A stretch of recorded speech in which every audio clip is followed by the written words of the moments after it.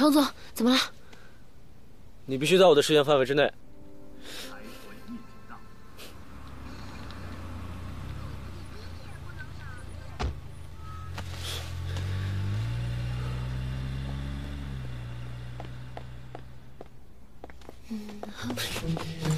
你就像那冬天的一把火。你这说十二点回家，一分钟都不带少的呀？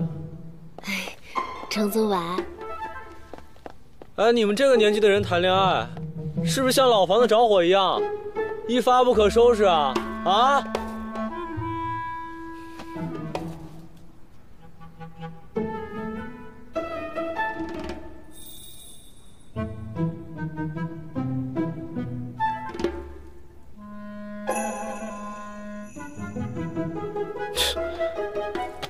八七年春晚，果然不是一个年代的人。下班了吗？干嘛呀？接我下班啊？对啊，不然接谁下班啊？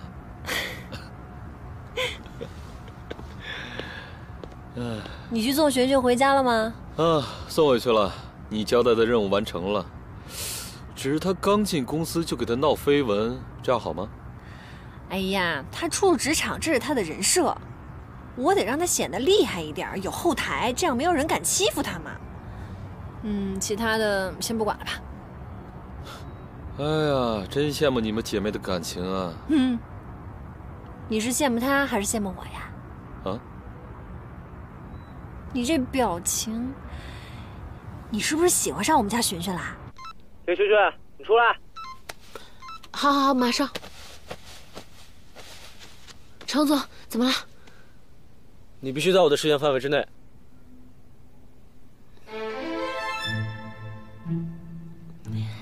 程总，你不会是怕鬼吧？怎么可能？你今晚不许回房间，你必须在这儿陪着我。哦。唉，站着。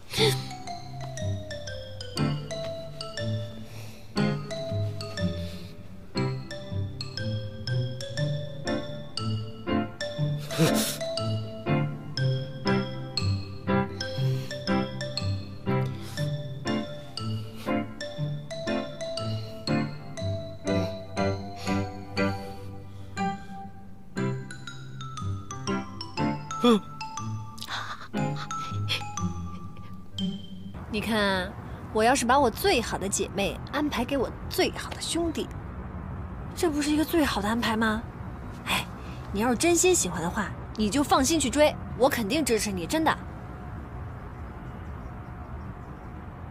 好啊。哎，那你呢？我啊，我周全又不缺男人嘛。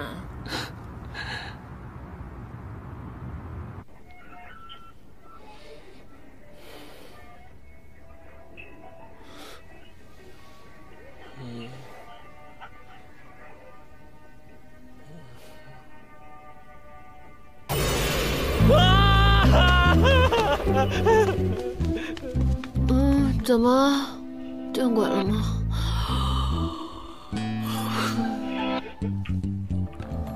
做生意的格局要大，你以后接手的是美城集团，在一个小化妆品公司浪费太多的心力，有必要吗？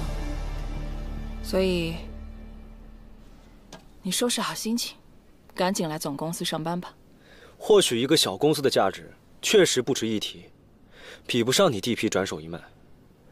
但是，开公司的价值啊，不仅仅是在于赚多少钱吧。这么些年，你把我和我的生活，就用金钱和数字来衡量。你问过我的理想吗？你问过我想成为什么样的人吗？你是我儿子，你是我们集团唯一的继承人。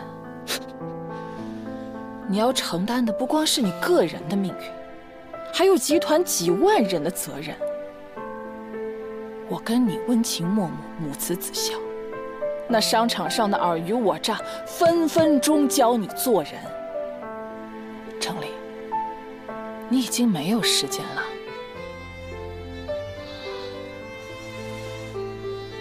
工厂的地皮，我会做一个科技园区。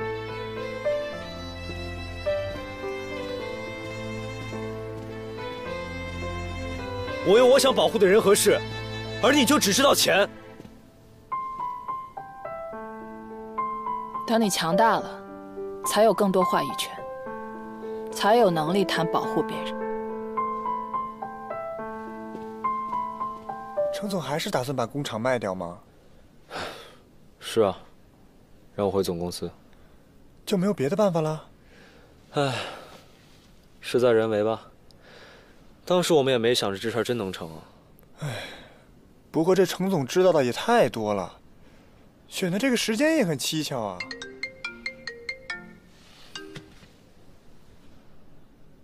哦，对，花架全都要，你们帮忙设计摆放一下吧。嗯。你在装修吗？哎，快下班。林旭旭，开车送我回家。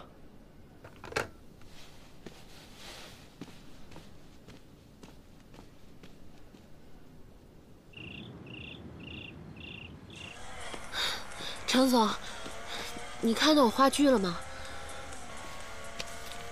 这是你画的吗？你干嘛进我房间？哎，你给我！哎，你给我！就不给？嘿。这房子是我的，你也是我雇佣的，我有权利进入任何空间。虽然说拿人钱财替人消灾，你对我的任何要求都是合理的，但是我也是个人，我是个女人，我有我自己的隐私，你就这么跑进我房间，你太不尊重我了。好啊，我就是不尊重你了。你可以随时辞职，我绝对不会留你。把话剧还给我。扔了。扔扔哪儿了？阁楼。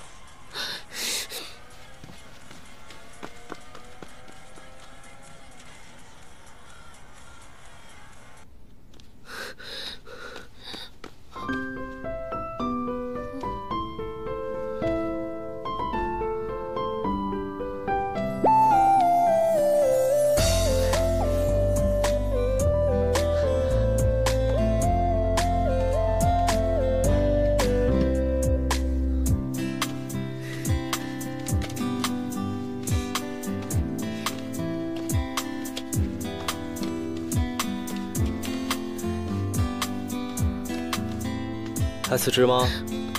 我睡之前都有效。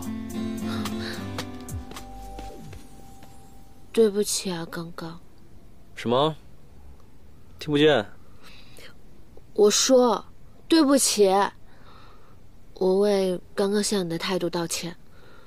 不过你随便进我的房间也是不对的，所以我生气也是应该的吧。你快递。居然是只活物，这是给嘟嘟的。嘟嘟，嘟嘟是谁啊？